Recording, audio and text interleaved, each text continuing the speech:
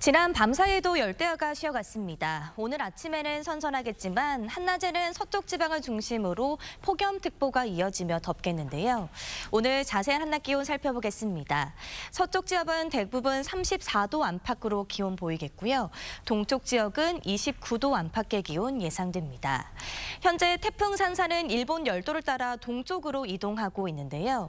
이에 따라 동풍이 유입되면서 동해안으로는 강한 바람과 함께 5에서 30mm의 비가 예상됩니다. 주말에는 전국이 대체로 맑겠고요. 다음 주에는 낮 기온이 서서히 오르며 서서히 낮아지겠습니다. 오늘은 무더위 지친 몸에 피로 회복에 도움을 줄 수 있는 제철 과일 포도 효능에 대해 알아보겠습니다. 포도는 8월 말 이후에 점점 더 당도와 상품성이 좋아지는데요. 포도에는 여러 비타민과 칼슘, 칼륨, 철분 등의 다양한 영양소가 들어있어 활력 증진에 도움을 줍니다.